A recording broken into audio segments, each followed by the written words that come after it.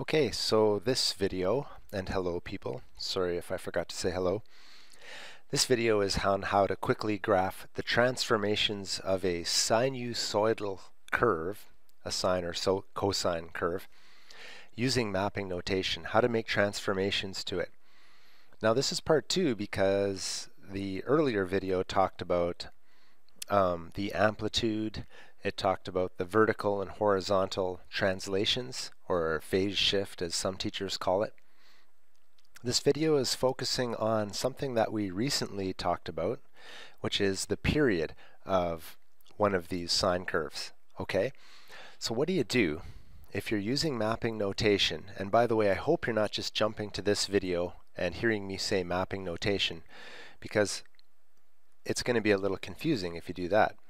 Mapping notation is when you think about what happens to every point on the sine curve with regards to x and y. What happens to each one of those points when this equation is the result of that transformation. So like that 2 right here, for example, we have to recognize that that 2, because it's right in front of x, it's a coefficient of x here, it's going to affect the period of this uh, curve. So let's just quickly think about that first. I'll think about it in blue, okay? In the last lesson we learned that when you have a 2 here, that instead of the, well, I'll do it really quickly. Inst instead of um, instead of the period being 360 degrees like it normally is, what you do is you divide by k, which is the value in front of x, which is 2 in this case, and you end up with 180 degrees as the period. 180 degrees is half as long, it's half as long as the normal period for sine, which was 360 degrees, okay? So one rule that uh, math textbooks will often tell you is you just take the reciprocal of whatever is here. So if you see a 2 there, then it's going to be half of the the original period, okay? If there were a 3 here, then it would be one third of the original period. Let's, uh, let's keep it coming here. What if in front of k, what if you had, instead of a 2 there, what if you had a 1 half x to begin with? What if you had 1 half there? Well, you just flip it because it's going to be twice as long as before. Okay, so let's quickly go back here and we'll write in purple again. What's happening to the x values when we have a number right here? Well, what you do in, in reality is we flip this, so it's 1 half, and you multiply that by x. So the original x value multiplied by 1 half would mean you're halving each one of those, okay? And the y values would stay exactly the same as before. Okay, we're not doing anything to the y values here. There's nothing in the front here or there's nothing at the end. There's no plus or minus a number on the end, like the number 10, for example. Then we'd go y plus 10. But that's the previous video, so let's stick with this video. Now, do you remember we did something called the five uh, key points? And they started at 0 degrees, then it was 90, 180, 270, and 360. That was our five key points for the x values. And then the y value, you just think about sine. When it comes to sine, and I really should erase some of this stuff so that it's a little bit easier to, to look at. There we go. So think about sine. Sine always starts at 0. Sine always starts at 0. And then it moves upwards towards 1. Then it goes back down again. Then it goes, it continues down. At 270, it's down here at negative 1. And at 360, it's back to 0 again. If you forget, like I just did it in my head, but if you forget what all of these numbers mean, just punch them in your calculator. For example, sine of 0 is 0, sine of 90 is 1, sine of 270 is negative 1.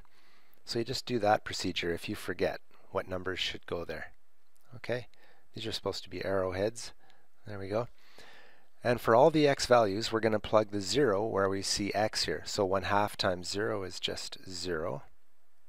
And the y value is just the y value. Nothing is changing with the y values. Very easy that way. What's half of 90? Because 90 is going where x is. Well, luckily that works out to 45. Not too complicated. What's half of 180? 90. And the y value stays the same.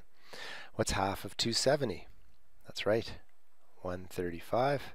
And the y value stays the same. And the last one here is 360. Cut that in half. 180. And the y value stays the same. What we do now is quickly graph this. So you get 0, 0, 45, and 1. Where is 45? It's right here between here and here. Where is 90? 90 and 0. Right there. 135 and negative 1. And then we have 180 and 0. Now, what I like to do, I can see that this pattern here is going on, and I'm trying my best to make a nice smooth curve here. It's not easy on a computer. Most teachers don't want you to stop here. They want you to continue on this same pattern. So this area here, you could continue to do points like I did here, but that would be a bit of a waste of time because we can see a pattern here, right? It's 0, 1, 2, 3, 1, 2, 3, 1, 2, 3, 1, 2, 3. And you just keep that pattern going, okay?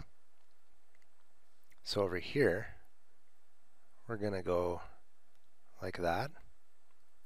Then it's going to come down. And between these two, which is right here, it's going to go down to negative 1.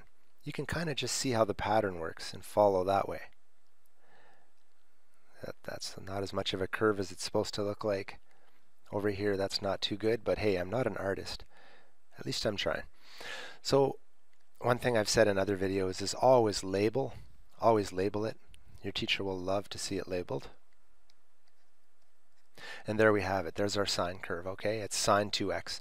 Um, the period, remember the period in the last video is the distance between where the graph starts over again. It starts over again at this point right here.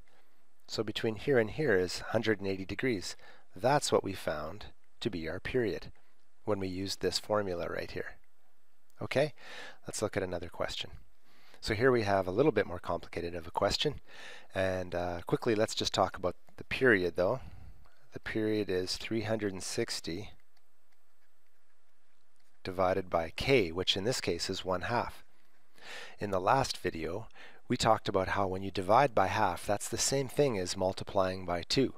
If that's confusing, it's explained in the other video. so 720 is actually going to be the period that we get here, and that's why it goes so long. You can see one, wow, 720 is way over there.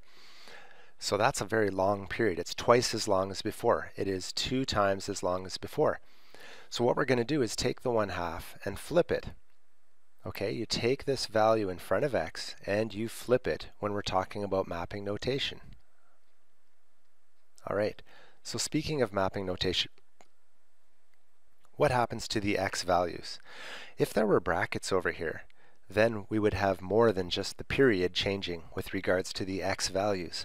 If we had like a plus 2 in brackets, then it would also move to the left too. But in this case, it's just 1 half is affecting the x. The 1 and the 3 do not affect the x. They're, they affect the y value. So let's talk about the x first. Remember I said we flip it? So 1 half really flipped just becomes 2 we have the x there. And then the y values, well, the 3 in the front, that's our amplitude. So 3 times y. And then on the end, we have a plus 1 here. And you just write it down like that. Then you put our key points. So it starts with 0, 90, 180. We can pick whatever we want here, but we're just picking the, you know, those those edges of the quadrants. 270. Then we're back at 360 again comma, comma, comma, comma, chameleon. Then we got y here. And this is where we have to think, oh no, sorry, we don't have to think about it yet. We just have to, well, we do have to think a little bit. Cosine starts at 1 and goes downwards, so 0 and 1. And if you forget all of this, again, the previous videos show that, so that you're not confused. Then it goes down to negative 1, then it goes back up to 0, and 1. If you forget any of these, again, you can use your calculator too. Trying to set this all up. 0 for x, 2 times 0 is 0. And it's 1 for the y, so 3 times 1 plus 1 is 4. 90 times 2 is 180. 0 times 3 is 0 plus 1. Hopefully you can see what I'm doing here. 180 times 2 is 360. Negative 1, so that would be negative 3 plus 1 is negative 2. Then we have 270 times 2. Ooh, 540. 0 again, so it'd be 1. And over here, 360 times 2 is 720. And 1 times 3 is 3, plus 1 is 4. All right, now we can quickly graph this. So 0 and 4, 180 and 1, 360 and negative 2,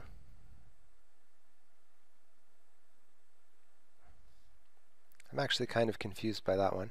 It seems to, hmm. Um, we'll see if this makes sense. I may have made a mistake. Um, 540 and 1. And 720 and 4.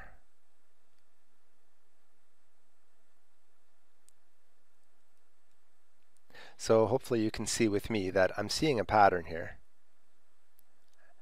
there's no way that this one here is correct. And 0 and 4 is, is not here. It's, it's right here. I hope that didn't throw you off because then I'd have to go and redo this video. So please forgive me. It's 0 and 4, which is right up here. And then, oh man, I'm so flustered by that mistake, I can't even connect the dots. But that's, that's the best I can do. I'm going to put arrows on the end.